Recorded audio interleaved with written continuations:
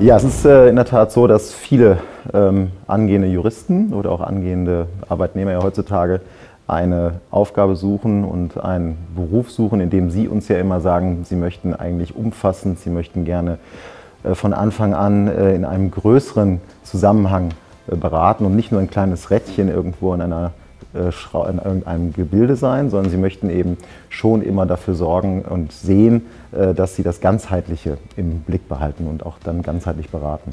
Und ich glaube, Restrukturierung ist, äh, ja, man kann es so sagen, ähm, schlicht und ergreifend eine absolute Querschnittsaufgabe.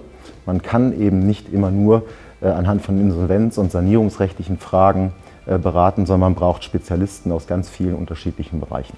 Das ist Corporate, das ist Real Estate, das ist ähm, Contracts, ähm, das ist IPT, äh, häufiger Steuerrecht. Und ähm, gerade mit diesen Bereichen muss man teammäßig vernetzt sein. Man muss aber auch dann über den eigenen Tellerrand schauen.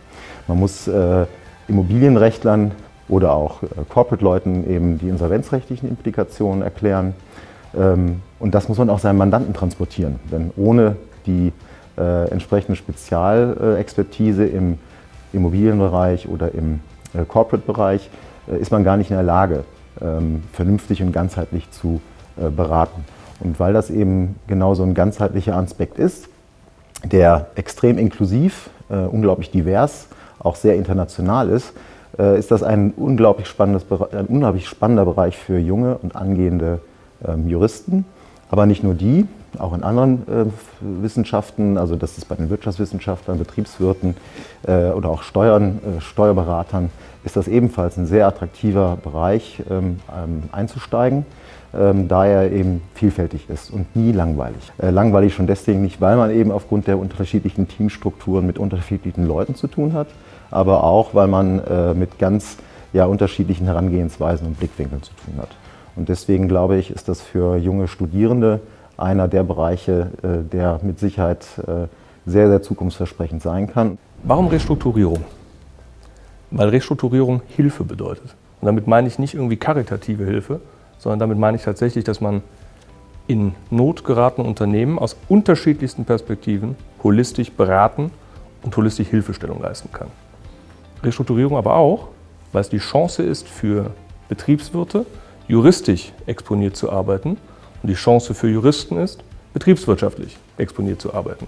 Denn wenn Sie das dahinterstehende Unternehmen, den Markt, den Grund für die Krise nicht verstehen, wenn Sie dem Unternehmen nicht helfen können, aus der Krise herauszukommen.